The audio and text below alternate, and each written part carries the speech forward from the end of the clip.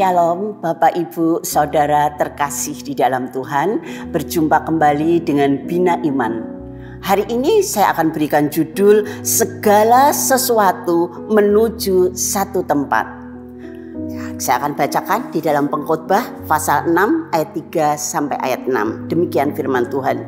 Jika orang memperoleh 100 anak dan hidup lama sampai mencapai umur panjang, tetapi ia tidak puas dengan kesenangan, bahkan tidak mendapat penguburan, kataku anak gugur lebih baik daripada orang ini, sebab anak gugur itu datang dalam kesia-siaan dan pergi dalam kegelapan, dan namanya ditutupi kegelapan lagi pula ia tidak melihat matahari dan tidak mengetahui apa-apa. Ia lebih tentram daripada orang tadi. Biarpun ia hidup dua kali seribu tahun, kalau ia tidak menikmati kesenangan, bukankah segala sesuatu menuju satu tempat? Amin, saudara ya. Di sini firman Tuhan di dalam pengkhotbah ini sedang mengingatkan kita ke mana tujuan hidup kita yang sebenarnya. Ayat 6 tadi sudah ditegaskan di dalam firman Tuhan, segala sesuatu menuju pada satu tempat. Nah, pertanyaannya, ke mana tujuan kita? Apakah kita mau menuju kepada hidup yang kekal bersama dengan Tuhan di surga atau ke tempat lain.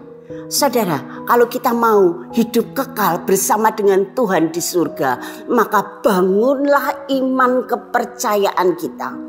Iman kita jangan hanya bersandar kepada berkat-berkat Tuhan saja.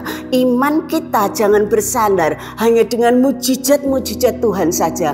Kita akan mudah kecewa di dalam Tuhan tetapi belajarlah iman kita dibangun di dalam pribadinya Tuhan.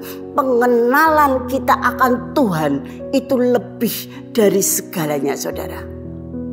Hari-hari ini mari kita belajar untuk kita lebih lagi mendengarkan firman Tuhan. Bukan hanya mendengar dan dilupakan, tetapi bagaimana kita mau mendengar mau menjadi pelaku firman.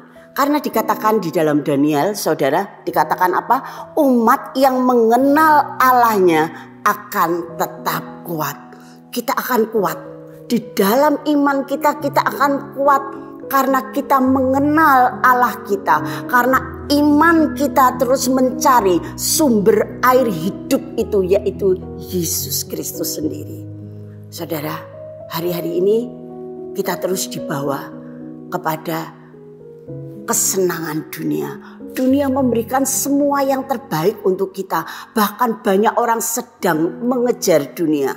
Kesenangan dunia, kekayaan apa pun yang dunia berikan kepada kita saudara. Jangan mengejar segala sesuatu yang ada di dunia. Lebih daripada kita mengejar pengenalan kita akan Allah.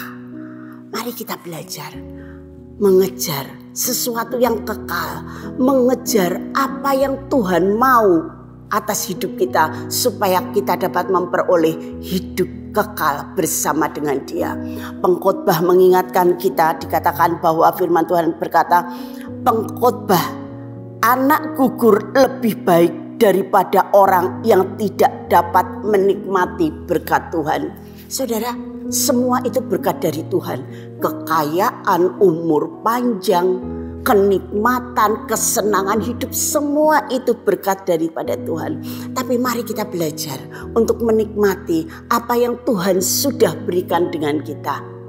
Belajar mengucap syukur, belajar dari hati kita berkata bahwa Tuhan terima kasih Aku mengucap syukur untuk segala sesuatu yang engkau berikan kepadaku, berkat-berkat yang terbaik.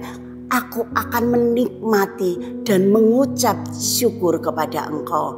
Mari saudara, jangan salah fokus, jangan gagal fokus. Segala sesuatu menuju satu tempat, yaitu kita akan menuju kepada surga yang kekal. Tuhan Yesus memberkati.